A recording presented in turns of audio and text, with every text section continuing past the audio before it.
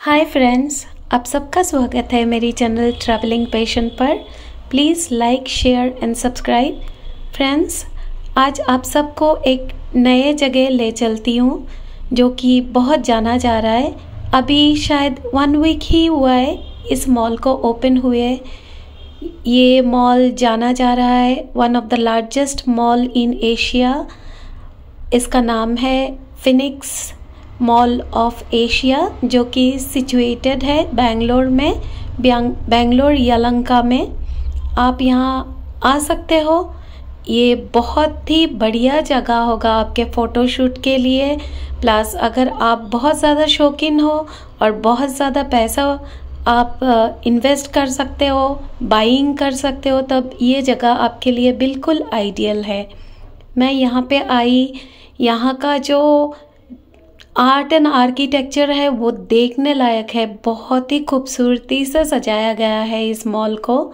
ये रहा एंट्रेंस जहाँ पे मैं अभी खड़ी हूँ और आप सबको दिखा रही हूँ। ये बहुत ही अच्छा लगा मुझे। यहाँ पे एंटर होते ही ऐसा लगता है कि एक डिफरेंट जगह में हम आ गए। और ये सचमुच में एक बहुत ही ह्यूमंगस एक ह्यूज मॉल है। यहाँ पे आप देख सकते हो, अभी रिसेंटली ओपन हुआ है इनाग्रेशन के दिन, जो जिस तरह से रखा हुआ था, वैसे ही रखा हुआ है बिल्कुल। यहाँ पे आने के बाद एक अलग सा ही लग रहा था, क्योंकि इतना बड़ा मॉल मैंने कभी विज़िट नहीं किया था whereas Bangalore is always known for its larger malls तो फिनिक्स सिटी मॉल जो है, वो कुछ भी रिप्रेजेंट नहीं कर रहा था, ये मॉल बिल्कुल अलग है, देखने लायक मॉल है और यहाँ पे बहुत सारे लोग आए हुए थे। तो काफ़ी रश भी था। तो सैटरडे संडे यूजुअली अवॉइड करना। अगर वीकडेज पे आते हो तो आप पूरा घूम सकते हो। यहाँ पे घूमने में ही आपको बहुत वक्त लग जाएगा। एक एक चीज़ यहाँ पे जो इन्होंने डेकोर डेकोरेशन जो है वो देखने लायक है। बहुत ही अच्छा लगा। वैसे यहाँ पे आप अगर शॉपिंग करने आते हो तो आपको बहुत सारा पैसा लेके आना पड़ेगा। क्योंकि जहाँ तक मैंने देखा, काफ़ी सारे चीज़ है यहाँ पे। आप, आपकी ज़रूरत की हर एक सामान यहाँ पे मिल जाएगी। लेकिन हर एक सामान काफ़ी कीमती है, बहुत ही ज़्यादा एक्सपेंसिव है। तो मैंने सोचा कि क्यों पैसा खर्च करना? मैं पैसा खर्च करने के लिए बहुत कम ही जाती हूँ। तो मैं तो देखने के लिए गई थी, और मुझे देखकर काफ़ी अच्छा लगा। और क्या कहना है? लोगों को तो आजकल नेचुरल चीज़ों से ज़्यादा आर्टिफिशियल चीज़ ही पसंद है।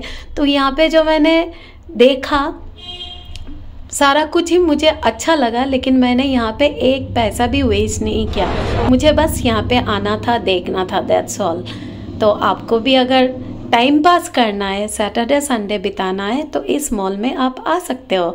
लेकिन इस मॉल में आने के लिए आपके पास अगर अपना कार हो तो बेस्ट रहेगा, क्योंकि मैं ऑल द वे ट्रेवल करके आई मेन सिटी से यहाँ आने में ऑलमोस्ट मुझे वन आवर लगा। तो आप किस कॉर्नर पे रहते हो बेंगलोर के, वो आप डिसाइड करोगे, आपको कैसे आना है। वैसे हर एक सुविधाएँ यहाँ पे उपलब्ध है, जैसे कि आप मेट्रो से आ सकते हो। आप बस में भी आ सकते हो। आपको अगर ऑटो में आना है तो आप ऑटो में भी आ सकते हो लेकिन आपको टाइम लेकर आना पड़ेगा क्योंकि मुझे लग रहा था इस मॉल के अंदर जाके जैसे कि मैंने टाइटानिक की सवारी कर ली है क्योंकि ये मॉल एक वाकई में बहुत ही बड़ा मॉल है। घूमते घूमते हम ख़त्म नहीं कर पा रहे थे और अभी तक सब कुछ पूरा कंप्लीट नहीं हुआ है। अभी भी आ, अंदर में कंस्ट्रक्शन वगैरह चल रहा है तो मेरे साथ आप एंजॉय करो इस मॉल को। आप मुझे ज़रूर कमेंट करके बताना आपको कैसा लगा। आप सबका धन्यवाद।